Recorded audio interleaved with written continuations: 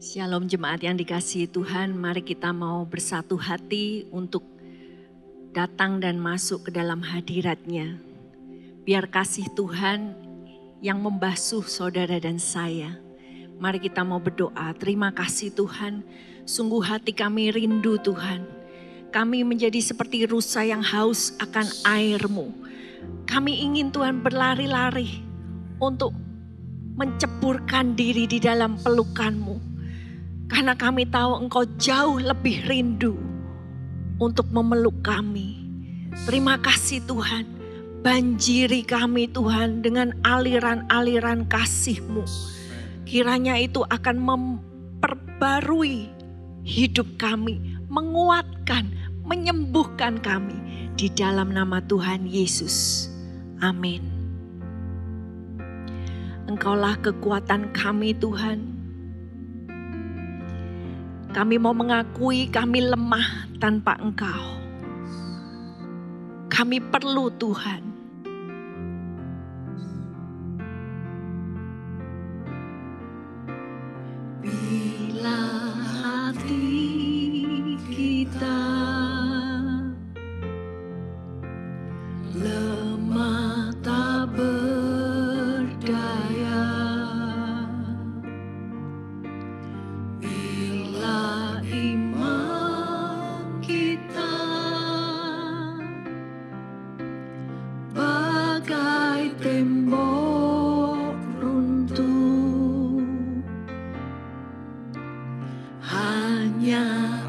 Ada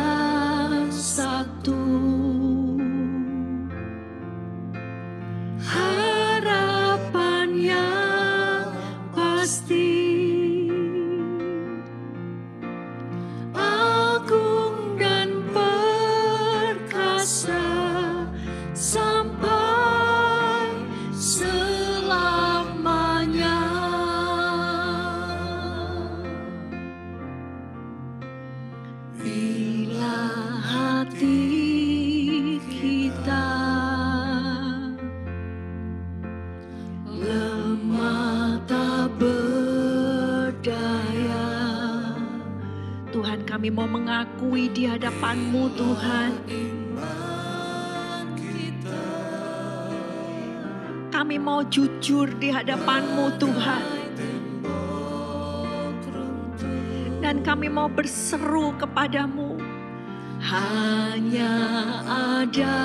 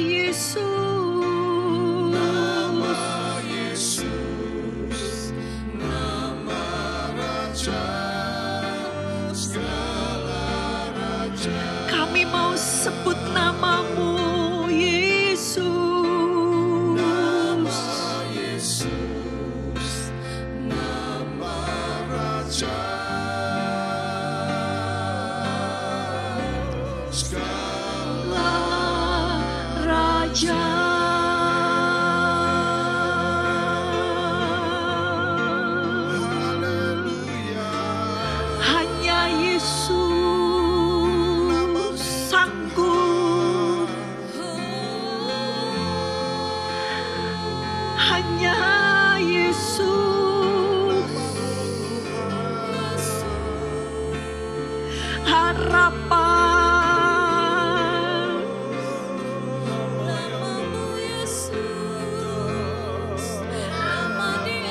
Biar nama Yesus membawa harapan yang baru. Serukan namanya, serukan namanya. Barang siapa berseru kepada namanya, maka dia akan diselamatkan. Yesus.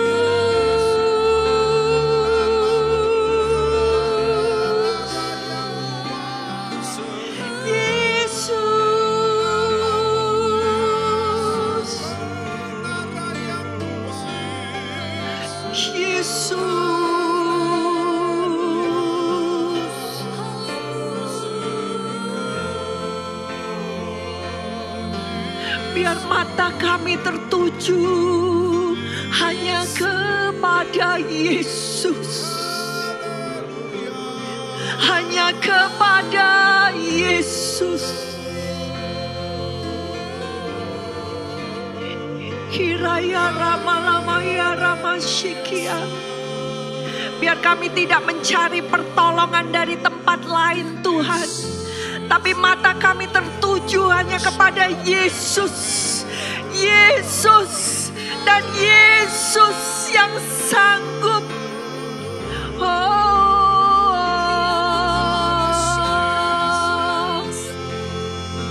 engkaulah jalan.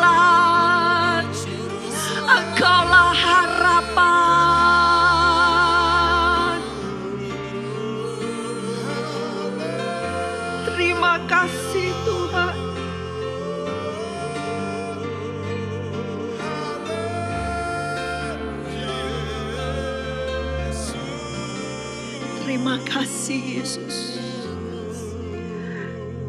Dan Engkau Allah yang setia. Karena itu kami mau tenangkan jiwa kami di dalam Engkau. Karena harapan kami setia.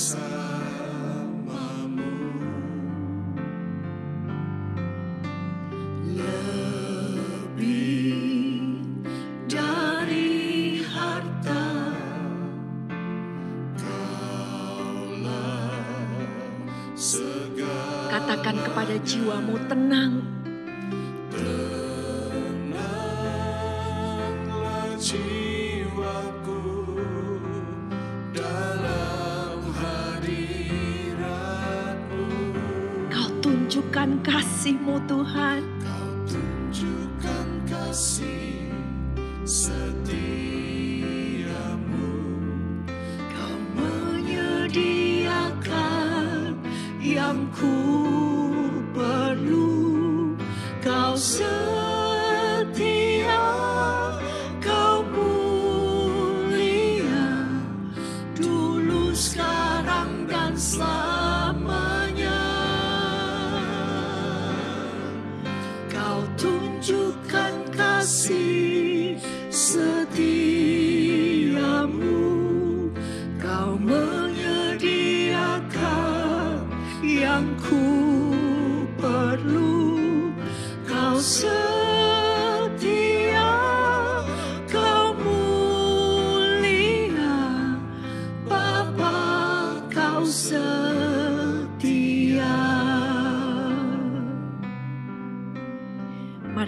deklarasikan Bapa kau setia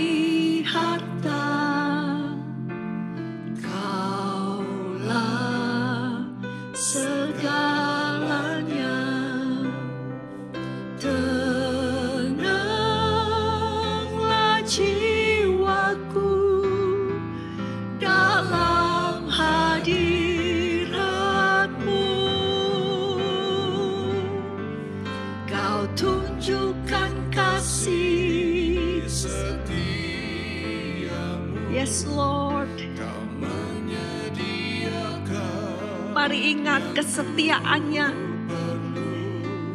Kau setia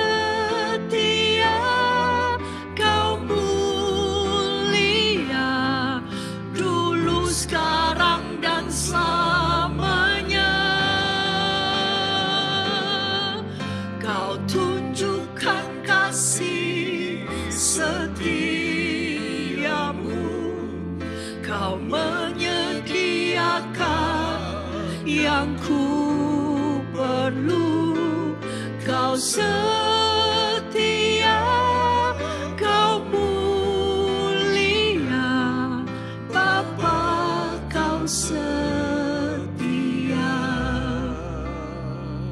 kita mau mengingat bahwa Tuhan yang mengatakan kepada saudara dan saya, Dia akan menjadi gembala. Dan mari seperti Daud, ketika dia berkata, "Tuhan, gembalaku, aku punya gembala." Dan dia berkata, "Ketika aku punya gembala, aku tidak akan kekurangan sesuatu apa pun." Apa yang Tuhan sudah kerjakan di waktu dulu, biar kita mau mengingat-ingat bahwa Dia yang sudah setia dulu maka sekarang dia juga akan setia. Amen. Dan di masa depan dia juga Yes. tetap setia. Amen. Mari kita mau datang kepada dia. Menjadi seperti domba yang merindukan gembala. Dan gembala ini siap merangkul Anda dan saya. Katakan kau tunjukkan kasih setiamu Tuhan. Kau tunjukkan kasih setiamu. Kau menyediakan yang ku perlu. Kau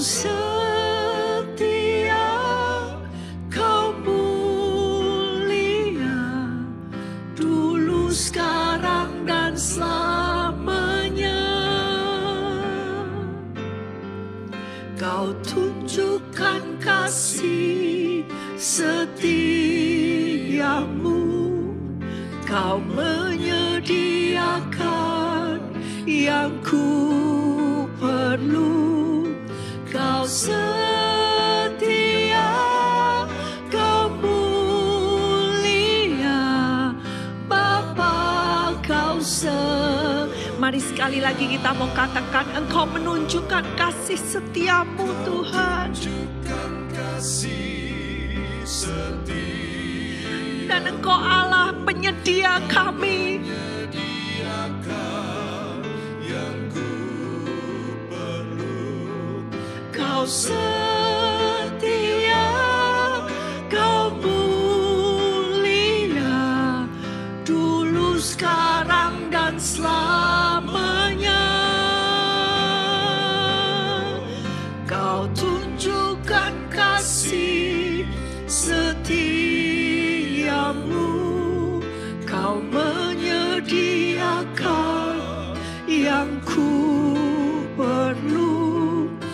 Kau setia,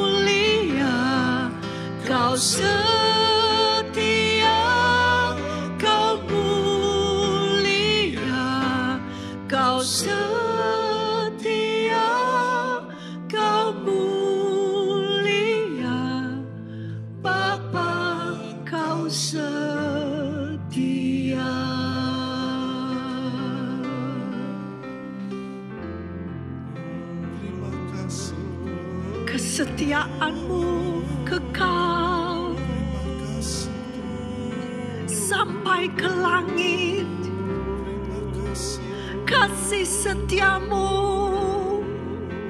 tinggi menjulang. Biar itu menjadi pegangan kami Tuhan. Oh,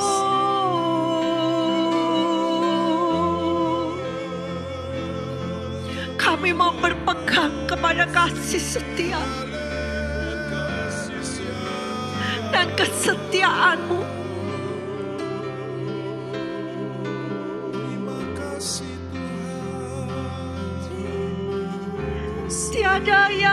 Yang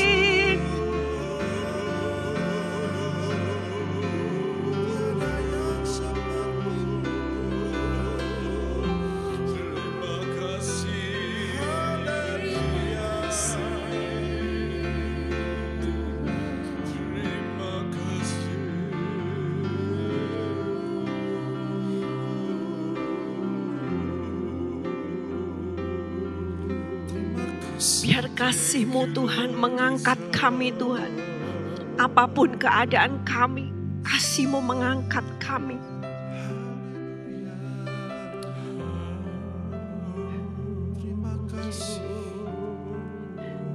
Biar kita mau datang kepada Tuhan dengan hati domba. Kita mau belajar bagaimana Tuhan mau merestorasi tabernakel Daud. Kita belajar apa itu yang Tuhan suka dari hatinya Daud. Karena di dalam Mazmur 23 kita bisa melihat bahwa hati Daud adalah hati seorang anak domba. Saudara nggak pernah melihat domba itu bertengkar seperti kambing. Betul. Karena dia tidak bukan binatang yang kuat. Bahkan ketika disandingkan dengan binatang-binatang yang lain pasti akan kalah. Pasti akan menjadi mangsa. Tapi justru di dalam kelemah lembutan seekor domba, itulah hati yang Tuhan cari. Dan kita akan melihat setelah kita melihat fase yang pertama Tuhan, gembalaku takkan kekurangan aku. Mari kita mau melihat di pasal yang kedua di pasal 23 ayat yang kedua dikatakan Ia membaringkan aku di padang yang berumput hijau. Ia membimbing aku ke air yang tenang. ayat yang ketiga Ia menyegarkan jiwaku. Ia menuntun aku di jalan yang benar oleh karena namanya. ya jadi apa yang Tuhan lakukan kepada domba-dombanya Tuhan fokus nomor pertama yaitu kebutuhan di dalam hidup kita. From inside out. Tuhan tidak fokus kepada pelayanan saudara. Tuhan tidak fokus kepada betapa saudara terlihat baik. Tapi Tuhan selalu mencari yang namanya hati di dalam. Dan ketika saudara melihat di sini, dia membuat aku berbaring. Ini satu posisi di mana seseorang itu beristirahat. Posisi bukan posisi berperang, bukan posisi siap siaga, tetapi posisi yang penuh dengan relaksasi. Dan Tuhan ingin membuat saudara dan saya berbaring. Karena lebih dari yang lain, Tuhan ingin hatimu, hatimu menemukan rest, menemukan damai, ketenangan. Hatimu berbaring bersama dengan Tuhan. Dan dikatakan dia membaringkan aku di padang yang berumput hijau. ketika Tuhan membuat saudara istirahat, Tuhan tahu bahwa engkau memerlukan nourishment, engkau perlu nutrisi. Mungkin hatimu sudah mengalami luka-luka. Mungkin hatimu mengalami kekecewaan demi kekecewaan. Mungkin hatimu capek, lelah, letih. Dengan segala beban, dengan segala kesakitan, masalah-masalah. Karena itu Tuhan berkata, masuklah ke dalam sabat. Karena di dalam sabat Tuhan mau saudara dan saya beristirahat.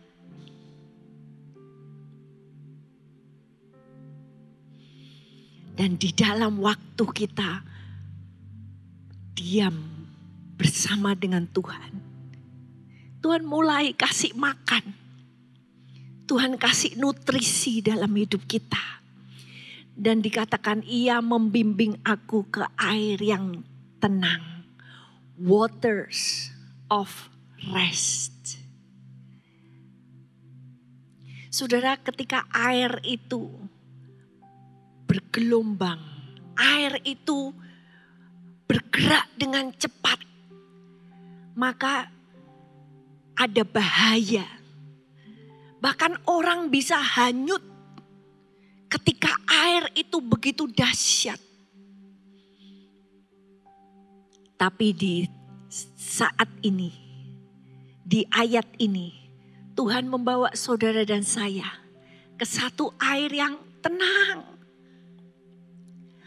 Air di mana saudara bisa beristirahat. Saudara lihat di situ di gambar binatang-binatang pun menemukan kedamaian. Dan ini yang Tuhan tahu, bahwa saudara dan saya tidak bisa berjalan terus dalam kehidupan ini tanpa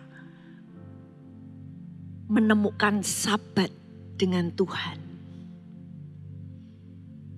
Waktu demi waktu, kita harus menemukan tempat kita berbaring.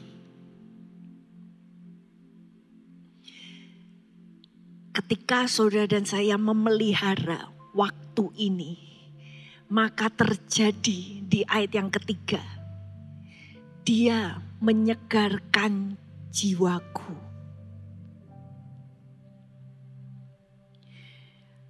Dalam banyak terjemahan dikatakan he restores my soul. Kata menyegarkan itu berarti membawa kembali.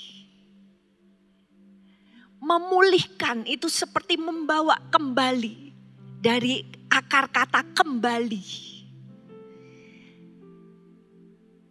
Saudara, jiwa kita ini yang banyak mengalami goncangan-goncangan.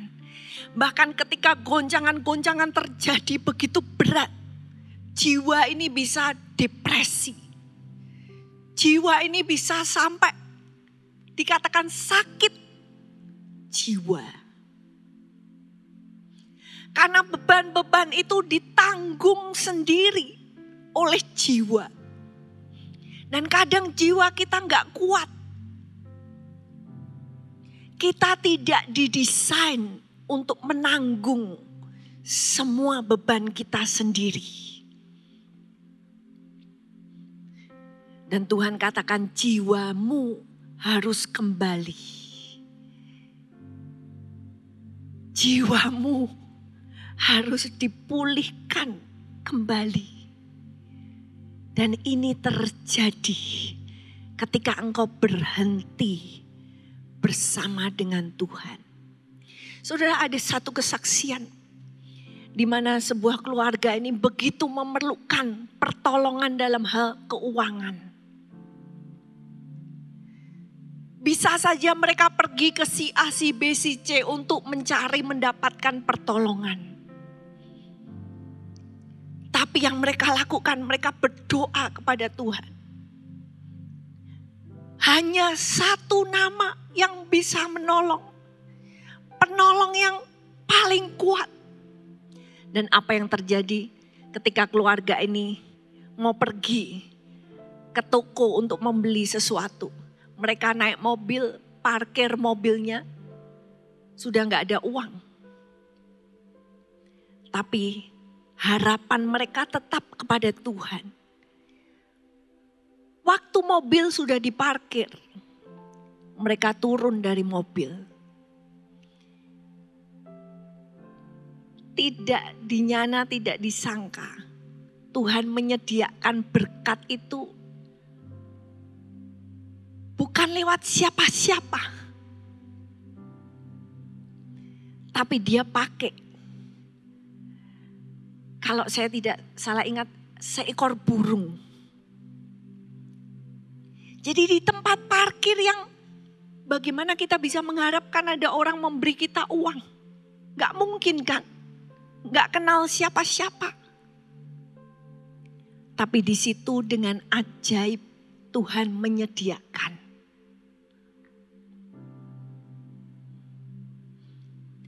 Ketika saudara dan saya berharap hanya kepada Tuhan, harapan itu tidak pernah mengecewakan. Dan mungkin engkau mengalami beban-beban dalam jiwamu yang begitu berat. Mari kita mau perkatakan firman. Karena deklarasi firman itu yang akan menyembuhkan jiwamu. Mari ketika engkau mengalami begitu, jiwamu itu resah, jiwamu tidak bisa menanggungnya, katakan Tuhan memulihkan jiwaku. He restores my soul. He restores my soul. Dan begitu engkau mulai berkata, berkata dan berkata, maka itu akan terjadi. Kau menundukkan jiwamu kepada Tuhan, memberikan jiwamu untuk dipulihkan. Dan dikatakan ia menuntun aku di jalan yang benar oleh karena namanya.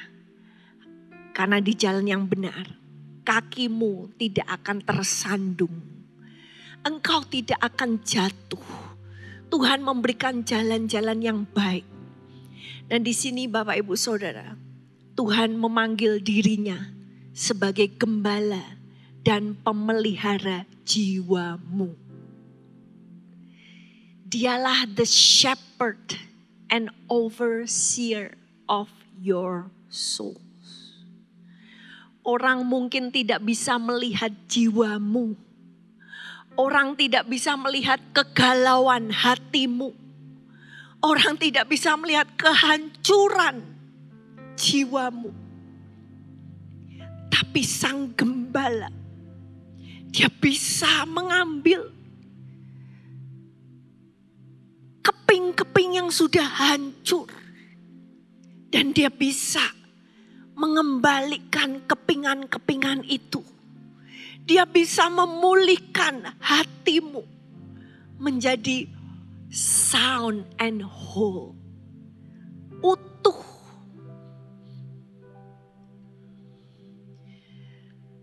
Dan setelah pemulihan ini Tuhan membawa dari inside out. Dari dalam keluar. Mari kita baca ayat yang keempat dan kelima. Sekalipun aku berjalan dalam lembah kekelaman, aku tidak takut bahaya, sebab engkau besertaku. Gadamu dan tongkatmu itulah yang menghibur aku. Engkau menyediakan hidangan bagiku di hadapan lawanku.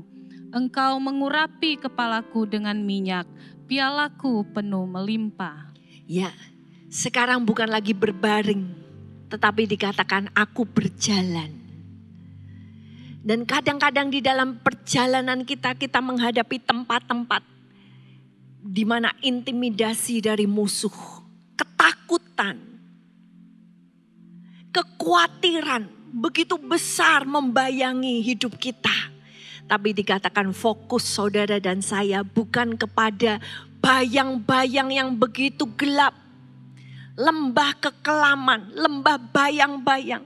Dan kalau sudah melihat bayang-bayang itu berarti hanya bayang-bayang bukan yang sesungguhnya. Dan kita diajak untuk berfokus bukan kepada bayang-bayang kegelapan itu. Tapi kita fokus kepada gadamu dan tongkatmu. Mari kita melihat gembala kita itu punya kuasa yang besar. Kuasa itu ada di tangannya. Dan bahkan saudara, Tuhan menjanjikan kehidupan yang semakin meningkat.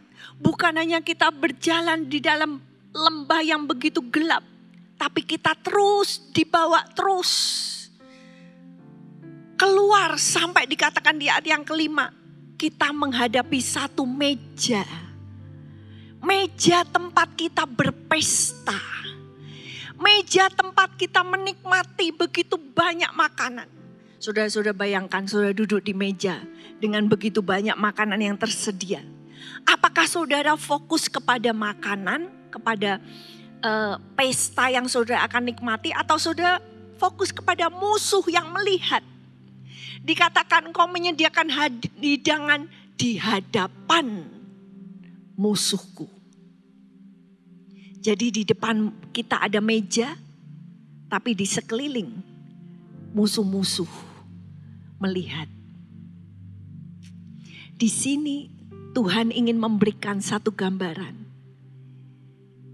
bahwa kita tidak terfokus bahkan kepada musuh, tapi kita terfokus dengan hidangan yang Tuhan sediakan untuk kita nikmati.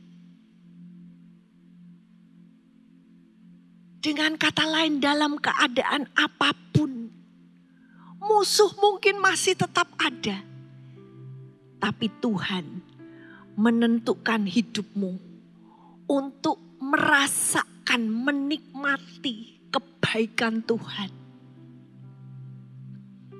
Bahkan di dalam hidangan ini ada urapan dan yang diberikan kepada Tuhan bukan hanya hidangan yang kecil-kecil, sedikit-sedikit, tapi dikatakan penuh, melimpah. Tuhan menyediakan segala yang ada di surga bagi saudara dan saya untuk kita. Apa pun yang engkau butuhkan sudah tersedia. Karena itu Tuhan berkata, taste and see that the Lord is good. Makan, nikmati, rasakan bahwa Tuhan itu baik.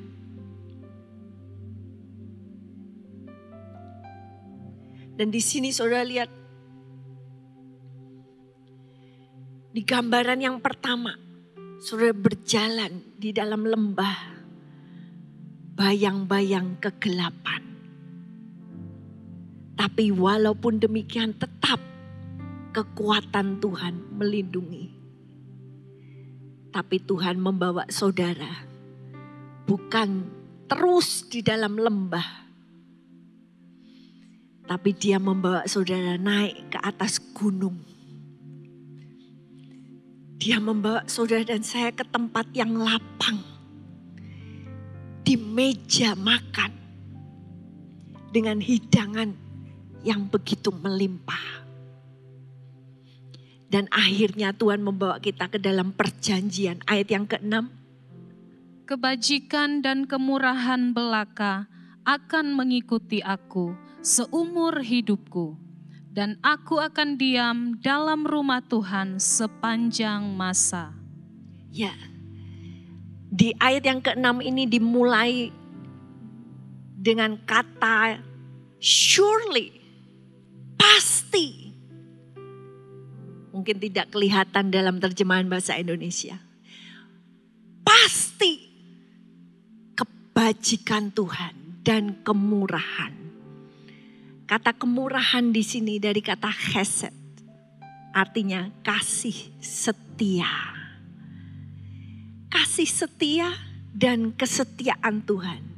Ini yang kita dengar selalu di dalam Mazmur. Ini yang menjadi pegangan Daud. Bahkan ketika Daud merasa terlupakan, dia menjadi orang buronan. Hidupnya dihabiskan di padang-padang belantara, bersembunyi, berlari. Tidak ada orang yang ingat kepada Daud. Tapi dia selalu pegang dua hal. Kasih setia, Hesed, dan emeth, kesetiaan. Faithfulness of God, loving kindness, and faithfulness. Dia berkata pasti, pasti sifat Tuhan ini tidak pernah berubah. Loving kindness and faithfulness. Dan dikatakan aku akan diam, dwell, tinggal. Kata ini berarti juga kembali. Saudara dan saya sebagai domba-domba Tuhan. Kerinduan hati kita harusnya sampai nanti aku mau kembali. Bukan hanya menemukan padang rumput. Tapi aku mau diam. Kembali tinggal di dalam rumah Tuhan. Dan biar perjanjian Tuhan ini menjadi kekuatan bagi saudara dan saya. Kita mau katakan Tuhan, Engkau perisaiku. Karena bersamamu aku akan tetap berdiri. Engkau yang menopang hidupku.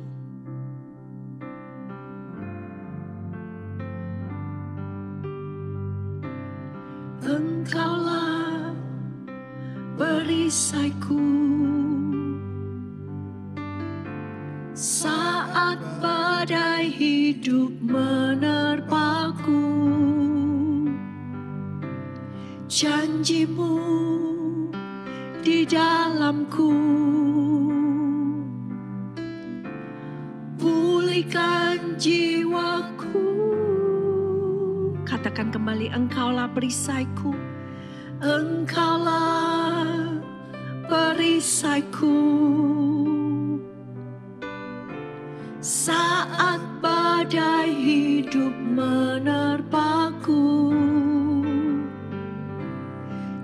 janjimu di dalamku. Pulihkan jiwaku Ku kan berdiri di tengah badai. Dengan kekuatan yang kau berikan Sampai kapan pun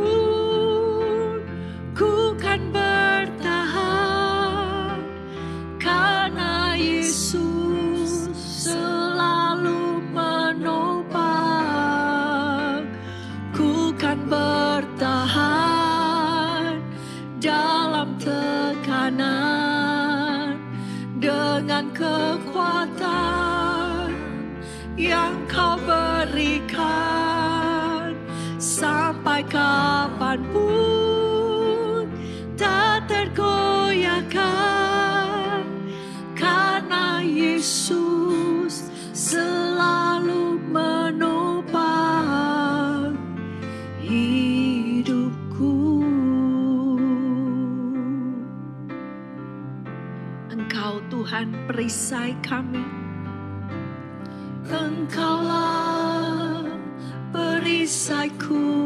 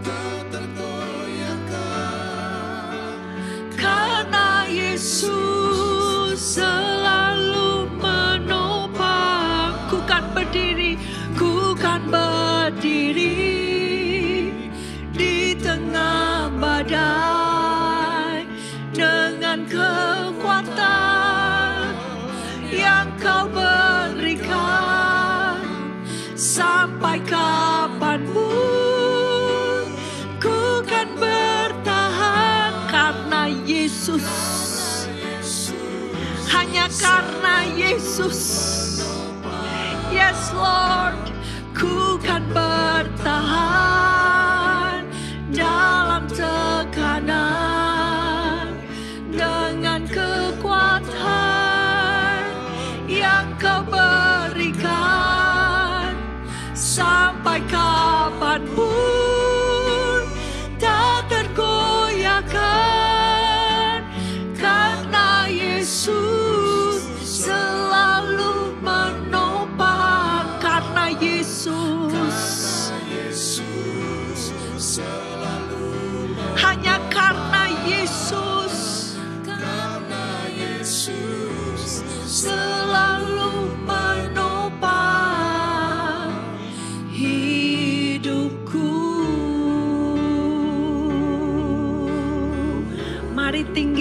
Nama Yesus.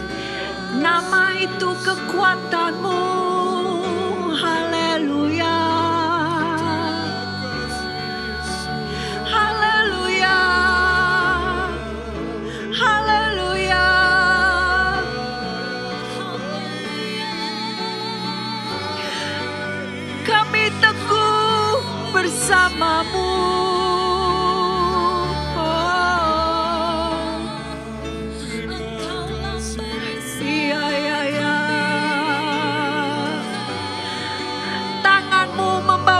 Kemenangan. Tangan kananmu membawa kemenangan. Haleluya.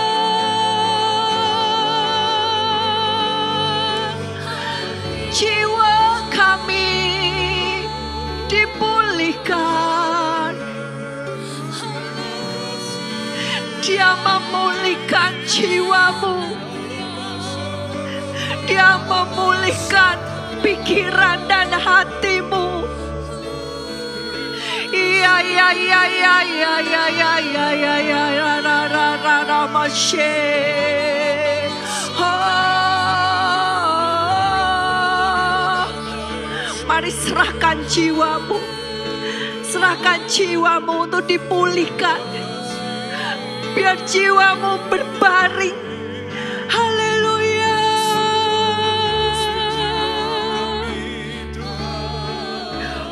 Kuraya ramana masikiraya ramato korodoko. Iya ramana masikira takala mayara.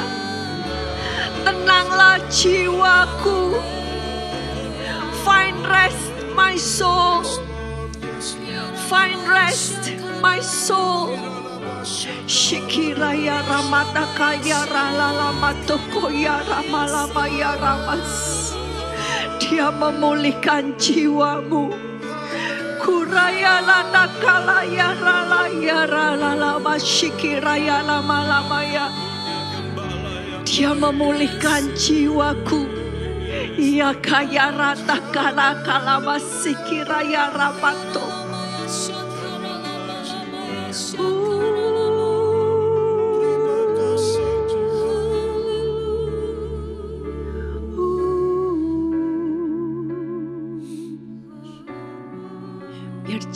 Jiwamu dipulihkan. Janji-janjinya memulihkan, menopang. Karena dia Tuhan yang tidak pernah gagal.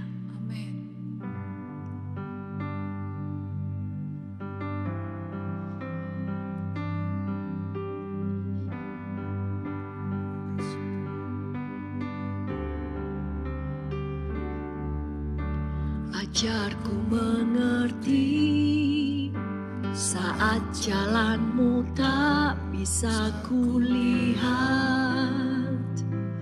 Kau tetap setia, ingatkanku lagi. Hidupku ada di dalam tanganmu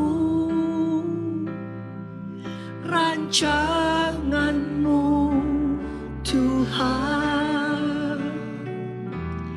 Indah dan mulia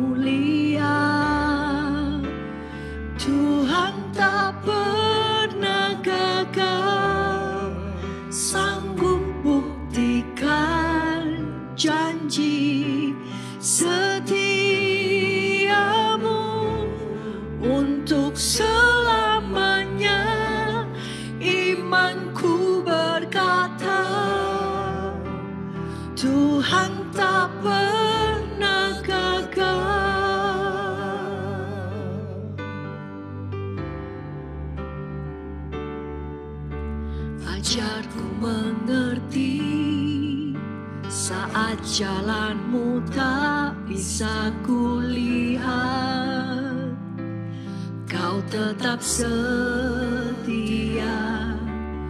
Ingatkanku lagi Hidupku ada di dalam tanganmu. Rancanganmu Tuhan indah dan mulia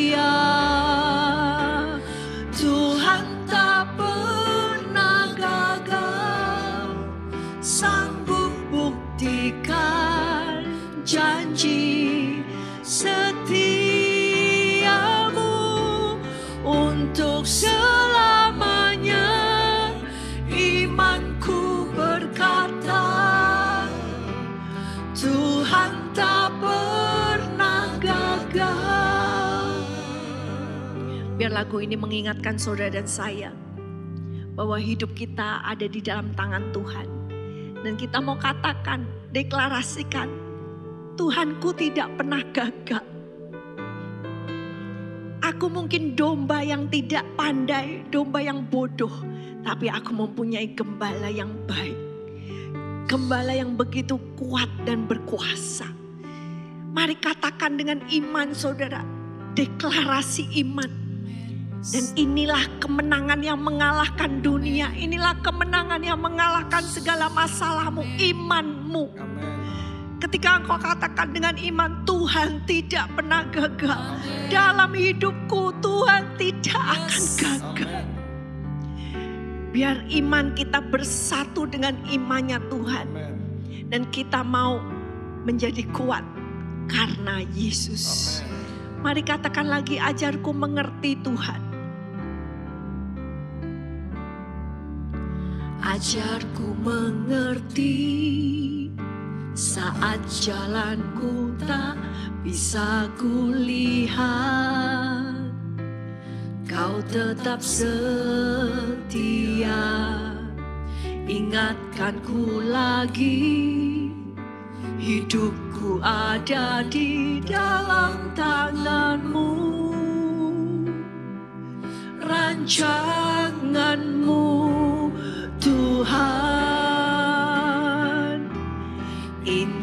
indah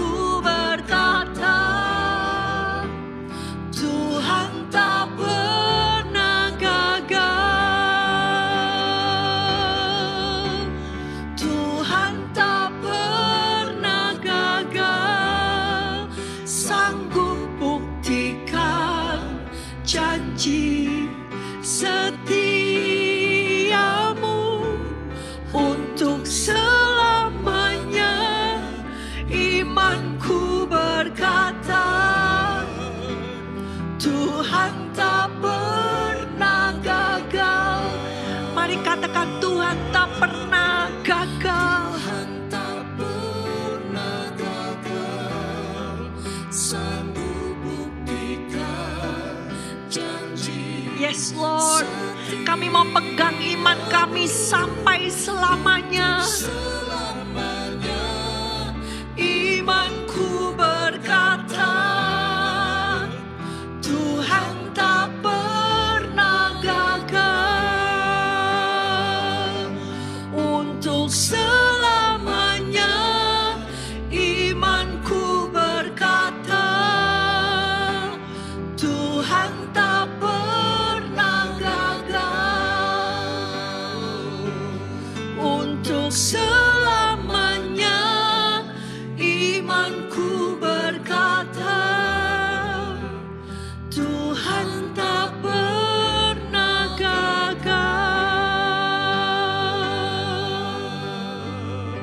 Ini Tuhan, iman kami Tuhan.